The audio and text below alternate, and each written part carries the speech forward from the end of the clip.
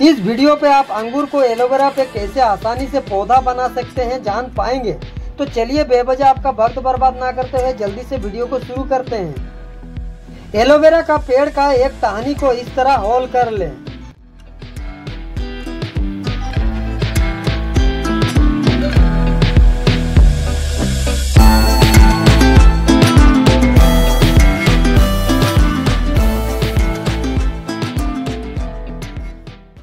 अब दो तीन अच्छे अंगूर ले ले और एलोवेरा पे इस तरह लगा ले।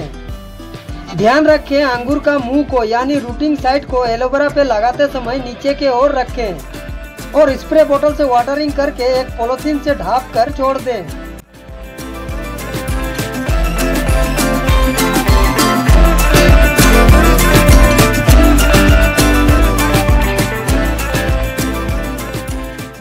ग्यारह दिन बाद पोलोथीन को हटाकर एलोवेरा को इस तरह कट करके रूटिंग वाला अंगूर के साथ निकाल ले।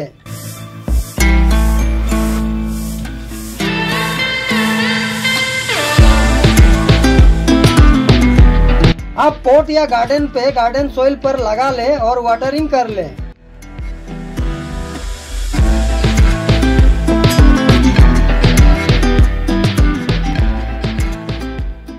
वीडियो अच्छी लगे तो लाइक, शेयर, कमेंट ज़रूर कीजिएगा, इससे हमें उत्साह मिलती है। और हमेशा इसी तरह का बेहतरीन प्लान रिलेटेड वीडियोस देखने के लिए हमारे चैनल को सब्सक्राइब करना ना भूले। Thank you for watching